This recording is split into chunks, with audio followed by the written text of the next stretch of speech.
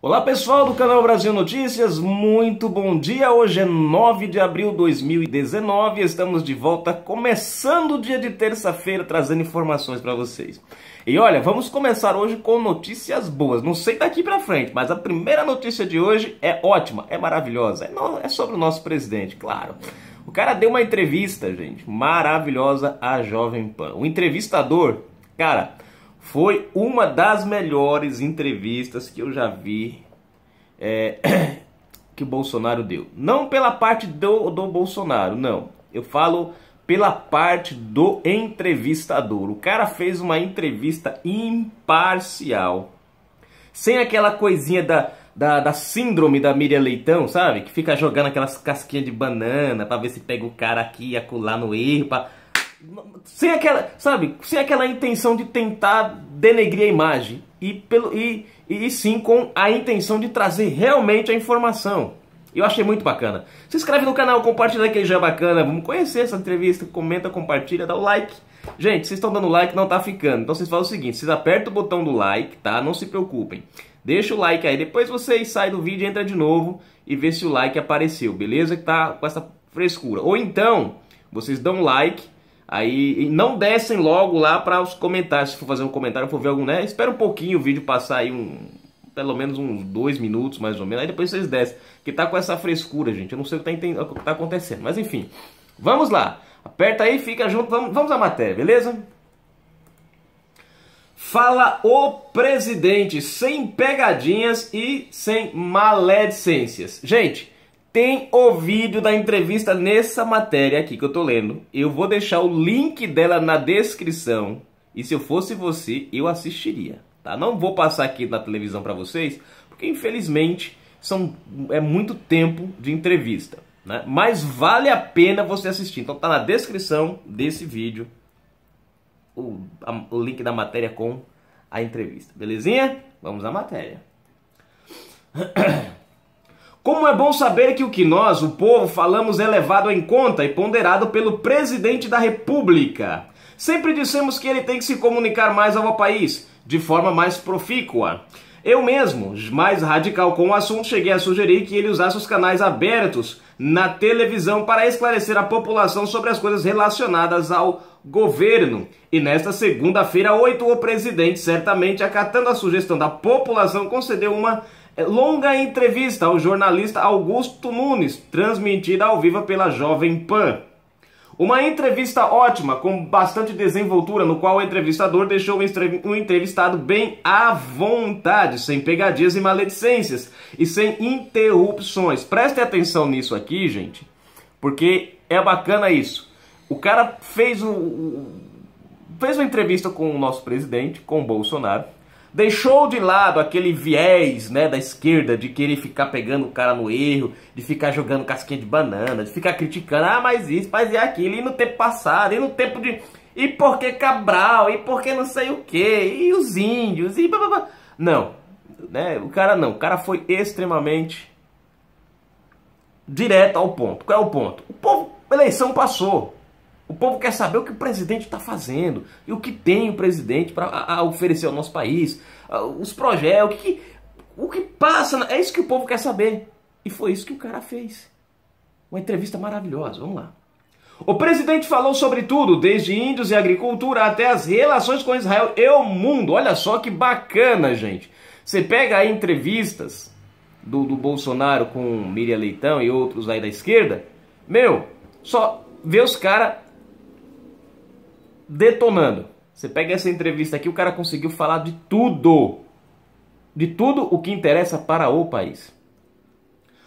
Bom, uh, sobretudo desde índios e agricultura até as relações com Israel e o mundo árabe, passando pela relação do executivo com a Câmara na reforma da Previdência e pela avaliação de Bolsonaro a respeito dos próprios ministros. Foi uma, digamos, prestação de contas dos 100 dias de governo uma bela entrevista típica de um estadista. Parabéns ao Augusto Nunes. Muito boa essa entrevista sua. Deixa eu pular aqui, pular aqui. Mas o melhor mesmo foi ver o presidente da República lutando ao vivo. Ao... Peraí, li errado.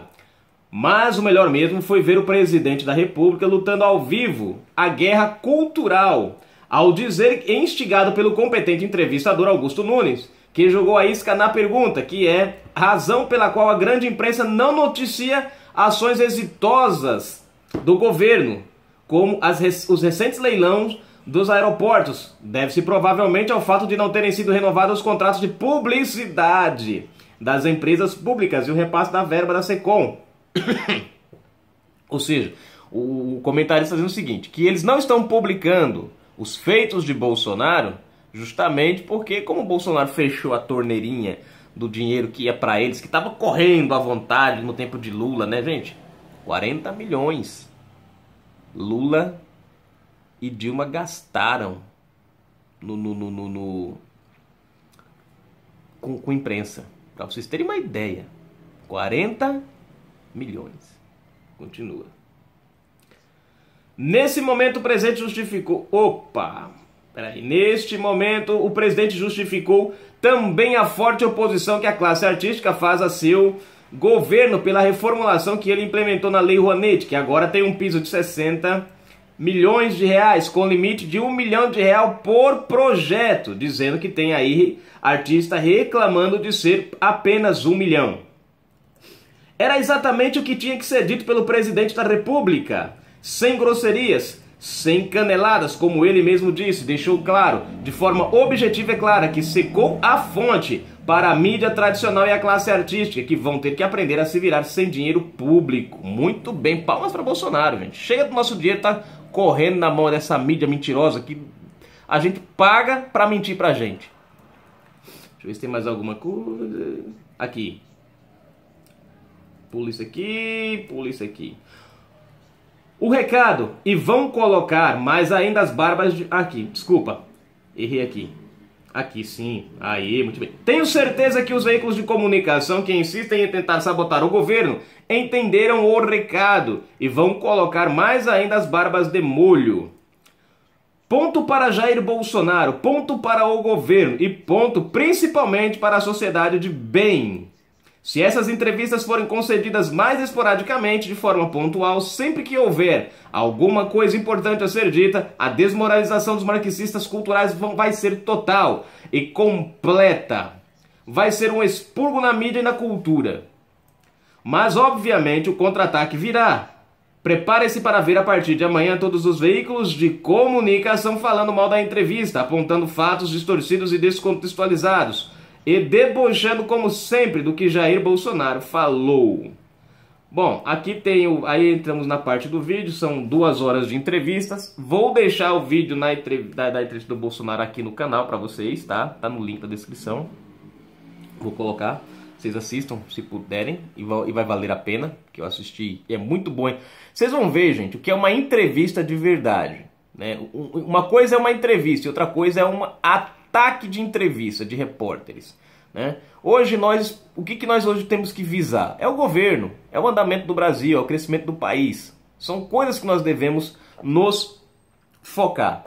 O que, que a mídia esquerdista está focando hoje? A mídia esquerdista está focando hoje, para vocês terem uma ideia, enquanto eu vou falar com vocês aqui, eu vou até dar uma entradinha aqui no, no, no outro site, que é um site de esquerda, para ver se tem alguma coisa para gente, pra gente ver sobre esse assunto. Eu vou entrar aqui ao vivo e é colorido, né? Deixa eu ver aqui, enquanto eu vou falando. Bom, deixa eu ver aqui, nada. Deixa eu ver. Também nada. Também nada, também nada. É, não, aqui não tem nada não. Bom, depois eu vou dar uma olhadinha com mais calma aqui, porque tem muita coisa aqui. Só não sei se Bolsonaro e Maia participa, Bolsonaro zagueiro. Não, ainda não tem. Mas eu vou dar uma pensada direitinho para vocês verem aqui. Gente, a questão é o seguinte: o que é uma entrevista de verdade e o que não é uma entrevista de verdade? Né? Essa entrevista do Augusto Nunes foi ótima, porque foi direto ao ponto, foi direto ao foco, aquilo que nós queremos saber, o que interessa para o Brasil. Já falei para vocês, a política acabou. O mal da esquerda é que para eles a política não acabou. E, e, e isso está ferrando com eles, porque estão comprando uma briga que na verdade eles mesmos estão se destruindo. Quando você vê uma mídia, um, um jornal, que traz uma matéria, é, é, por exemplo, Bolsonaro foi esses dias para os Estados Unidos e foi esses dias para uh, para os Estados Unidos e esses dias ele foi para, deixa eu ver para onde foi, para Israel, o Chile também. Bom, eu pergunto a vocês, desses jornais da esquerda, você viu algum jornal da esquerda, pelo menos, falar alguma coisa de bem do Bolsonaro? Não, você não viu, ninguém viu, eu não vi. Nós só vimos um ataque, uma acusação, uma crítica. Porque eles não estão preocupados em informar para você o crescimento. Ó, o Bolsonaro fez um negócio lá do, do, do, do dos aeroportos. Pouco foi falado. A mídia até falou, não vou dizer que não falou, mas pouco foi falado. Deram mais atenção a acusações infundadas do Flávio sobre o Flávio Bolsonaro. Deram, deram mais a, a, a, é, é, deram mais atenção à questão do Ricardo Vélez do que os fatos que interessam ao, ao Brasil. Quais são os fatos que interessam ao Brasil? O, o, os aeroportos estão rendendo dinheiro. Contaram a história pela metade da, da, da, base de Alcântara e ainda distorceram os fatos. Não falam no lucro e no crescimento que isso vai trazer ao país. Eles não falam. Criticaram. Colocaram lá Bolsonaro como vassalo. Olha só que legal. Vassalo dos Estados Unidos. É, é, essa é a mídia. Agora você vai numa entrevista dessa aqui. Aí você vê um cara como Augusto Nunes fazendo perguntas ao Bolsonaro que refletem o que nós esperamos. E aí você tem que bater palmas para um cara desse. Você tem que bater palmas para Jovem Pan, né? Infelizmente, nós temos lá o Vila, né? Que é um cara, é historiador, é intelectual. Não vou discutir esse mérito dele, não, de jeito nenhum. Mas infelizmente está subindo a cabeça dele algumas coisas que às vezes ele acaba metendo os pés pelas mãos. Ele acaba metendo os pés pelas mãos, né? Ele não, ele, ele não consegue entrevistar, o, fazer uma entrevista mais coerente, né? Tudo dele é, é, é meio que capcioso. Parece que a mídia hoje, ela, ela, parece que ela vive da, da desgraça ou da mentira. E é onde está. Aí é, é por isso que Bolsonaro, e eu apoio isso, vai na rede social, vai no Twitter. Que ele fala o que ele quer e acabou. E aí quem quiser distorcer, distorce. Mas ele falou. E o pessoal, o público de bem, vai entender o que o cara tá falando. Né? Vai entender o que o cara tá falando. Toda semana, quinta-feira, ele 8 horas da noite faz uma live. Presta esclarecimento de pelo menos 20, 25 até meia hora ao, ao, ao, Brasil. Gente, isso é maravilhoso, cara. Isso é uma coisa bacana. O presidente que vem prestar esclarecimento. Presidente que toda semana tá lá, ó, falando para os seus eleitores, para o Brasil. Um presidente que busca se envolver com o país, que se, se sai do esconderijo da cama, da câmera de televisão e entra no, no foco da rede social. Tá todo mundo, onde todo mundo pode perguntar, onde todo mundo pode falar, ali você tira.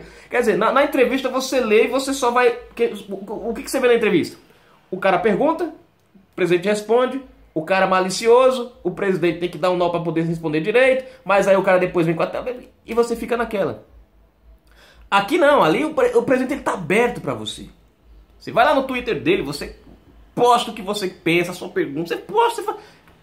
Isso é bacana. Aproxima o povo do presidente. Tirou a barreira que tinha antes, que eram as televisões, assim, tirou, a, o povo está tendo mais acesso ao presidente. Né? E isso é legal para nossa democracia. Nem Lula, gente, teve essa proximidade com o povo. Né? E o PT tá ferrado com isso, porque eles não estão sabendo usar essa tecnologia a favor deles, está usando contra eles. Eles acham que estão usando contra Bolsonaro, mas estão usando contra eles próprios. Porque usam isso para atacar, usam isso para acusar, usam isso para ofender, para Você entendeu? Quando na verdade eles poderiam estar usando isso para o bem do país. O PT, infelizmente, não, nunca vai conseguir enxergar isso. Para o PT hoje voltar a ser um partido que cai nas graças do povo, ele tem que mudar radicalmente o seu estilo. Deixar a corrupção se tornar honesto. Parar de brigar com o governo e ajudar a governar. Não precisa concordar com tudo, mas basta apresentar propostas coerentes que ajudem a crescer o país. Mas a gente sabe que isso não acontece. Então, põe de lado, né? Vamos voltar para a questão da mídia. Então, gente, tá a entrevista aí. Bolsonaro falou de tudo um pouquinho. Falou dos ministros, né? O que ele pensa, o que ele acha. falou dos ataques que recebeu, enfim. A questão é uma só: Bolsonaro é o cara, é o presidente que o Brasil precisava. Acesse o canal aí, vai na descrição, clica no link, acessa o vídeo, assiste ele. Assiste, gente. Até você, tá, tá, até diga, é assiste você também. Para de ouvir o que só o que a esquerda fala. Vai ver o que o cara tá falando, depois você pesquisa o que o cara tá falando. Vai fazer bem para você. Você vai se estressar menos. Quem sabe até você não vai ver que o Brasil realmente está crescendo e, essa agonia, esse estresse que você vive aí não, não, não desaparece um pouco. Porque a esquerda é assim, trabalha na imposição do medo. Impõe o medo na sociedade e obriga a sociedade a abraçar as causas dela. Bolsonaro está tirando esse medo do povo e fazendo com que as pessoas descansem, relaxem um pouco mais. A esquerda não quer isso, mas a gente vai chegar lá, se Deus quiser. Canal Brasil Notícias trazendo a informação até você. Fui.